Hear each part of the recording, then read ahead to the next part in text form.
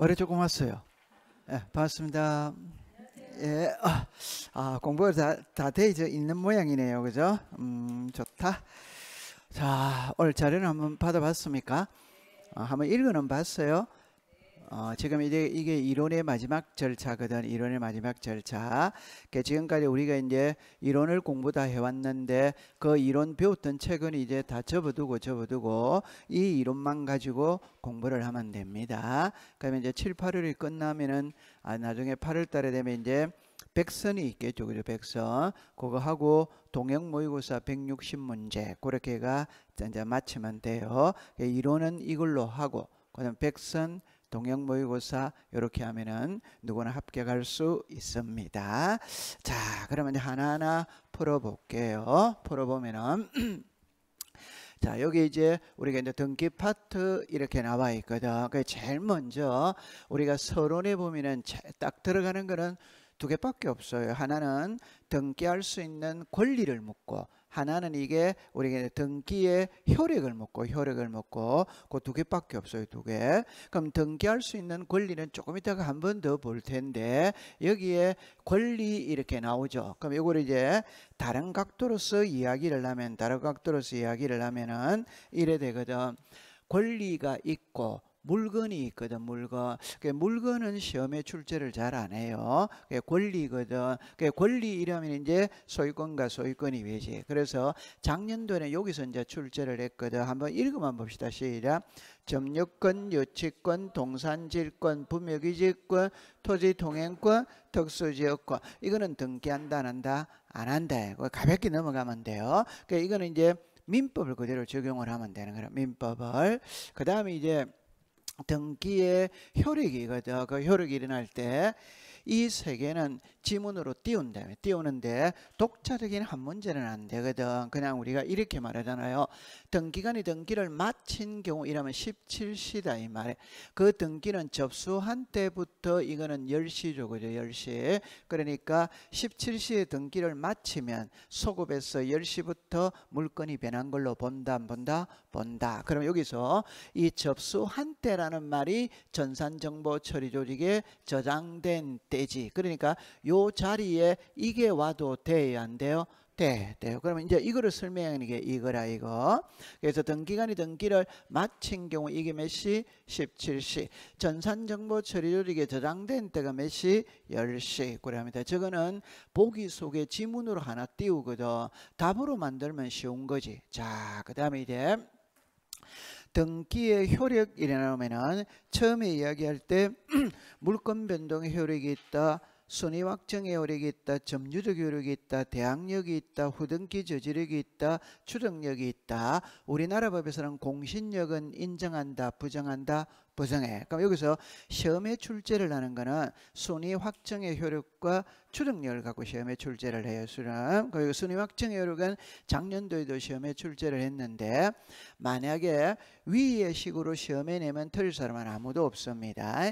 같은 구조 그죠? 이게 갑구 무슨 구 갑구 얼구 무슨 구얼. 이렇게 보면 구가 같아 안 같아? 같이. 이렇게 보면 구가 같죠. 그죠? 이때는 무슨 번호다? 소리 번호. 그러면 이렇게 보면 구가 같아 다르다? 다르다. 이게 뭐다? 접수 번호다 이 말이에요. 그럼 작년에 이제 이게 시험 문제인데 여기에 감류라는 말이 나와 있죠. 그죠? 그럼 요 앞에 다른 글자가 있다 없다? 없지 그럼 이거는 소유권의 감류가 들어온 겁니다. 만약에 전세권이나 저당권의 감류가 들어왔다면 반드시 앞에 전세권의 감류, 저당권의 감류를 써주는 거예요. 그럼 이거는 감류는 소유권이니까 갑구다 갑과이다 갑구지. 저당권은 무슨 거? 얼구지. 그럼 구가 같아 다르다? 다르다. 다르니까 무슨 번호다? 접수번호다. 이렇게 되는 거예요. 자, 그 다음에 이것도 역시 2번도 그대로 위에 그 동그라미를 그대로 내면 시험 문제 틀릴 사람은 아무도 없어요. 근데 여기에 핵심은 여기서 부기등기가 이게 핵심이죠. 부기등기가. 그럼 우리가 그림으로 여러분들이 그냥 간단하게 그려본다면 너무 쉬운 그림이거든. 이렇게 되었죠. 그죠? 1번에 저당권이 있어. 2번에 저당권이 있어. 이번에는 그럼 저당권이 지금 두 개 있습니다. 그런데 요 1번 저당권 일부 이전을 했으니까 1에 뭐다? 1. 그럼 요게 부기등기잖아요. 그럼 이 부기등기가 2번 저당권보다 앞에 있다, 뒤에 있다, 앞에. 그럼 부기등기가 2번 저당권보다 우선한다. 이렇게 되는 거지. 맞죠? 네. 그럼 너무 쉬운 거잖아요. 됐어요. 자, 그 다음에 여기 됐죠. 그럼 여기서 부기등기가 여기 핵심이에요. 그죠? 그럼 3번에 가등기에서 본등기려면 본등기의 순위는 무슨 순위? 가등기 순위다. 그럼 시험 문제를 낼 때 요 글자를 볼게요. 기, 작년도 기출문제 그대로죠. 가등기 후에 제3자 명의 소유 이루어진 경우 가등기엔 본등기가 이르면 본등기는 이게 소유자가 누구다? 을. 제3자 명의는 누구다? 병. 그럼 본등기가 제3자 명의 등기보다 우선이다 우선아니다. 우선. 그럼 저걸 그림으로 그리면 너무 쉬운 거잖아요. 자 봅시다. 1번의 소유자 갑 갑이 을에게 소유권 이런 청구권의 가등기를 해줬다 이 말. 그래도 소유자는 갑이거든. 갑은 병에게 매매했어요, 그죠? 그러면 이제 나중에 을이 소유권 이전의 본등기라면 이 본등기가 제3자 명의 등기보다도 앞에 있다, 뒤에 있다, 앞에. 그럼 본등기가 제3자 명의 등기보다 우선한다. 그렇게 벌어지는 겁니다. 자, 그 다음에 여러분 여기도 자 이거 제가 조금 틀었는데 봐보세요. 말소회복 등기거든 위조된 건전한권 해지 증서의 1번 건전한권에 말소된 거 다른 거 다 모르더라도 몇 번을 회복합니까? 1번. 그러면 1번은 3번보다도 앞에 있다, 뒤에 있다, 앞에. 그럼 요 문구로 보면 놨죠. 1번이 회복되더라도 3번이 우선한다면 OX다, X. 뭐가 우선한다? 1번. 이렇게 되는 거지. 됐죠? 그 다음에 이 문구는 이렇게 풀어야 돼요. 이 문구에 이렇게 써져야 됩니다. 자, 우리가 대직권 등기, 그 다음에 대직권이라는 뜻의 뭐다? 등기. 이게 항상 되어져야 되거든. 그럼 대리군이라는 뜻의 등기는 어디다 간다? 토지 어디다 간다? 해당구. 요 해당구가 대지 소유권의 소유권이면 뭐다? 갑구. 대리소유권의 지상권이면 뭐다? 얼구. 그럼 요 두 개니까 구가 같아 다르다? 다르다. 그러면 무슨 번호다? 접수번호 이렇게 되는 거예요. 그렇게 받아들이면 돼요. 자, 그 다음에 이제 이거는 시험에 출제를 잘 안 하는데 그냥 단순한 게거든. 그러니까 들어 보면 관할 등기수 지정권자는 상급법원의 장, 등기사무의 위임권자, 정직권자, 손상방지권자는 누구다? 대법원장. 그대로 외우면 돼요. 그 다음에 등기관의 지정권자는 자시다 지방법원장 또는 지원장. 그 다음에 등기관의 재정보증은 누가 운영한다? 법원행정 차장. 그러면 지금까지 관례를 보면은 이거는 지문으로 띄울 수 있어. 그럼 여기서 대법원장이 제일 중요한 겁니다. 자, 그 다음에 이제 이렇게 가봅니다. 자, 일단 잠깐만 공부를 할 때 이렇게 한번 해결을 해 볼게요. 자, 대말 들어보세요. 우리나라 등기부는 토지 등기부가 있고 건물 등기부가 있거든. 그럼 요 건물 등기부는 다시 다시 일반 건물 등기부가 있고 집합 건물, 구분 건물 등기부가 있어. 이렇게 딱 되어졌죠. 그럼 여기서는 토지 등기부이라면 표제부 갑구 을구입니다. 일반 등기부이라면 표제부 갑구 을구입니다. 그럼 구분 건물 이렇게 나오면 일동이 있고 전유 부분이 있고 공용 부분이 있답다 있지 이렇게 돼야 돼. 그러면 요 일동에 표제부가 있답다 있지. 전체 전유 부분에 표제부가 있답다 있지. 그럼 여기다가 이제 갑구 무선구 얼고. 그럼 여기 표제부 이런데 공용 부분은 표제부밖에 없지. 그러면 이제 출제인이 시험 문제를 때 크게 공부하면 세 개를 공부하거든. 크게 공부하면 먼저 이 등합니다. 요 갑골구, 갑골구, 갑골구는 양식이 같아 안 같아? 같아. 양식이 같아. 그러나 이 표제부는 양식이 다 다르다 이 말이에요. 표제부는 양식이 다 달라요. 양식이 다르다는 거는 여러분들 이거잖아요. 여러분들 호주머니에 주민등록증 있죠? 그럼 대한민국 국민이 가지고 있는 주민등록증의 양식은 같아 안 같아? 같아. 그 양식이 똑같잖아요. 그럼 다른 거는 표제부는 다 다르거든. 그러면 출제인이 시험 문제를 낼 때 이 표제부와 이 표제부와 이 두 개의 차이점을 물어요. 오케이? 네. 그 다음에 이제 이게 입니다. 여기에 표제부가 있고 여기에 표제부가 있답다 있지. 그럼 요 두 개의 차이점을 묻는다 이 말이에요. 오케이? 그러면 요 표제부이라면 여기서 이제 이렇게 나와야 돼요. 이 표제부이라면 이렇게 나와야 돼요. 그러면 집합 건물은 표제부가 몇 개? 두 개. 이걸 또 상하로 나누는 거라. 또 상하로 나누는 거라. 또 상. 그래서 상, 하, 상, 하 있답다 있지. 그러면 상은 안 해도 됩니다. 일동 건물의 표시지. 그럼 하는 대지권의 목 적인 토지의 표시 이렇게 되어 있어요. 그러니까 요거는 전유 부분, 전유 부분 건물의 표시. 그럼 여기에 이제 대지권에 대지권에 뭐가 있다? 표시. 자, 그럼 여기서 이제 키는 이겁니다. 이거는 묻지를 않습니다. 이거는 묻지를 않습니다. 그럼 첫 번째 딱 물을 때는 그냥 이거를 외우는 거예요. 대지권의 목적인 토지의 표시는 일동에 들어간다.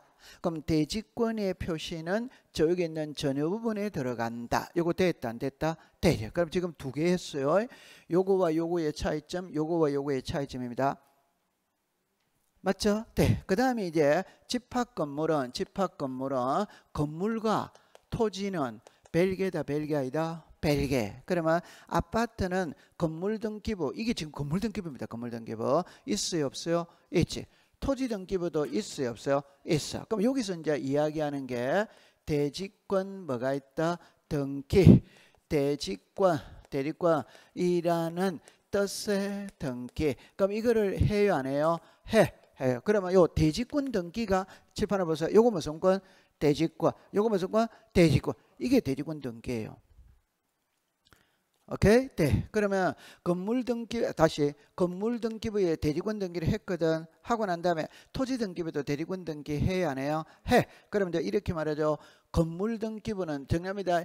건물 등기부 표제부에 표제부에 단독 신청한다 한다 한다. 그러니까 이거를 이거를 이거를 이거를 이거를 이게 지금 토지다 건물이다 건물 표제부다 표제부이다 표제부 표제부 이거는 무슨 신청한다? 단도 신청하는 신청. 그 다음에 건물 등기부에 대리권 등을 하고 난 다음에 다음에 토지 등기부에도 대리권 등기를 해야 하네요. 해. 하는데 이름이 이제 바뀌는 거라. 그럼 여기서는 시작. 대지권 등기 대지권이라는 뜻의 등기. 이거는 토지 등기부 해당 구에 등기관이 직권으로 해야 하네요 해 자 그럼 일단 요 요거를 먼저 보러 갑니다. 이거를 먼저 보러 갑니다. 맞죠? 이거를 먼저 보러 갑니다. 그러면 이제 이리 와보세요. 여기 무슨 부? 표제부. 여기 갑고 무슨 거? 얼. 자입니다. 표제부의 1, 2, 3, 4는 무슨 번호? 표시번호. 갑골구의 1, 2, 3, 4는 무슨 번호? 접수번호. 접수번호. 아, 저 순위번호. 순위번호. 이해했어요? 네. 그 다음에 접수연월일, 접수연월일 같아요? 안 같아요? 같아. 그럼 요것만 읽어보세요. 시작. 접수번호. 그러면 표제부에는 접수번호를 기록한다는다? 안 한다. 갑골구에는 접수번호를 기록한다. 그럼 요게 우리가 좀 전에 배웠던 거 잡으세요. 표제부가 있고 갑구, 얼구가 있거든. 맞아요? 네. 그럼 여기 무슨 거? 가 여기 뭐다? 얼. 요래 하면 구가 같아 안 같아? 같아. 이렇게 하면 구가 같아 안 같아? 같아. 같았을 때는 무슨 번호? 선을. 요렇게 하면은 구가 같아 다르다? 다르다. 무슨 번호? 접수 이제 답입니다. 왜 접수 일자까지만 쓰면 되지. 왜 접수 번호까지 쓰는 데? 그거는 갑구와 을구의 분쟁이 발생했을 때 해결하기 위해서 접수 번호를 쓰는 거예요. 갑구와 을구의 분쟁. 그럼 표제부는 관계 있답다 없다. 그럼 표제부는 접수 번호를 쓴다 안 쓴다? 안 쓴다. 그걸 기억하는 거라. 자그 다음에 이제 요리 오세요. 자 이제 이겁니다. 칠판을 보세요 여기에 일동의 표제부와 전유 부분의 표제부가 있답다 있지. 그럼 요거 차이점이에요. 요거 차이점. 요 차이점. 잠깐만 여기를 보세요. 대지권의 목적인 토지의 표시는 어디에 들어간다? 일동. 대지권의 표시는 어디에 들어간다? 전유 부분. 그 다음에 이제 여기 봅니다. 소재 집은 명칭은 명칭은 일동에는 들어가야 안 들어가요? 들어가. 전혀 부분에는 들어가야 안 들어가요? 안 들어요. 요것만 이해하면 되는 거예요. 그럼 여러분들 잠깐만 잠깐만 자, 이 보세요. 서울특별시 강남구 삼성동 100번지 레미안 아파트 101동 1701호가 있답다 있지. 그럼 요 101동에 표제부가 있고 1701호에 표제부 갑구 얼구가 있어요 없어요? 있지. 자 그럼 여기도 봅니다. 이게 소재지. 이게 지번이지. 이게 명칭이지. 맞아요? 네. 요까지는 이해하죠? 이제 답입니다. 101동의 소재 지번하고 1701호의 소재 지번하고 명칭하고 같아 안 같아? 같으니까 두 군데 다 쓸 필요가 없다 이 말. 그래서 1동에만 쓰는 거예요. 그렇게 돼. 그럼 전후 부분에는 소재 지번 명칭을 기록한다는다 안 한다. 그런데 그걸 그대로 딱 가져가면 됩니다. 됐죠? 자, 그 다음에 이제 이리 와 보세요. 이거는 이제 그대로 받아들이면 됩니다. 그대로 받아들이면 됩니다. 정답입니다. 집합 건물은 집합 건물은 일동의 표제부와 전유 부분의 표제부 갑구 얼구가 한 개다 한 개 아니다. 잠깐만 잠깐만 잠깐만 잠깐만 잠깐만 여러분들 이렇게 잠깐 해볼게요. 칠판 아니 아니 요 그림을 봅시다. 잠깐만입니다. 여러분들 101동의 등기부를 발급받습니까? 101동의 등기부를 발급받습니까? 101동 1701호의 등기부를 발급받습니까? 1701호. 그럼 1701호 등기부를 발급을 받으면 이게 나와야 안 나요? 나오지. 그러면 이 앞에 동도 나와야 돼, 안 나야 돼요? 동이 나와야지. 그러니까 이게 102동이 있을 수도 있고 103동이 있을 수도 있잖아요. 맞아요? 네. 그럼 고로 이게 하나다, 하나 아니다? 하나. 아파트 등기부를 떼면 101동 1701호지. 다시 1701호가 아니지. 101동 1701호지. 맞아요? 네. 그럼 이 표제부가 나와야 돼, 안 나와야 돼요? 나와요. 그래서 아파트 등기부는 자, 이럽니다. 봅니다. 1동 건물의 표제부와 전후 부분의 표제부 값골고 오더 와이더 오. 그 다음에 구, 어, 규약상 공용 부분이 있고 구조상 공용 부분이 있거든. 구조상 공용 부분은 등기를 한다 안 한다 안 하지. 아니 구조상 안 하지 안 하지. 맞아요? 그럼 규약상 공용 부분은 등기를 해야 하네요. 해. 근데 규약상 공용 부분은 관리사무소거든. 매매의 대상 이단이다. 아니지. 그건 갑구가 없어요. 갑구 없으면 얼굴은 없어요. 그래서 표제부밖에 없어요. 자, 그 다음에 이제 이거는 그냥 외워버리세요. 외워버렸어요. 등기부 표제부입니다. 표제부, 표제부입니다. 표제부에는 부동산 표시를 공시합니다. 자, 시작. 소재, 지번, 지목, 면적, 구조, 종료. 그럼 이게 토지면 지목이 들어가는 것이고, 오케이? 건물이면 지목이 들어가는 게 아니고 구조, 종료가 들어가는 거지. 맞아요? 네. 그럼 토지는 우리가 시작. 소재, 지번, 지목, 면적. 건물은 시이다. 소재, 지분, 면적, 구조, 종료 이렇게 되는 거지. 맞아요? 네. 그 다음에 표제부 등기는 자 이렇게 합니다. 단독 신청 오더와이더 오. 그 요 두 개만 구별해 두면 되죠. 멸실 등기도 표제부에 한다. 갑골구에 한다. 표제부. 표제부는 매돌리니 한다. 1월. 그러나 존재하지 아니하는 건물에 대한 멸실 등기는 1월이다. 지체 없이다. 지체 없이. 그대로 외우면 되는 거예요. 자, 그 다음에 표제부는 단독 신청입니다. 단독 신청이니까 의무자가 있답다 없다. 그러면 인감 등기필정보 제공한다는다 안 해요. 그러면 표제부에는 이해관계인이 있답다 없다. 여러분들 이해관계인이라는 말은 권리관계 갑골구에서만 존재하는 말이에요. 오케이? 표제부에는 이해관계인이 없어. 그 다음에 아까 전에 표제부의 1, 2, 3, 4는 무슨 번호? 표시번호. 접수 연월 일은 써야 안 써요? 써. 무슨 번호는 안 쓴다? 접수 번호는 안 쓴대. 그다음에 표제 부위는 가등기, 부기등기, 출력력, 무효등기 유용할 수 시작 없다. 그대로 받아들이면 되는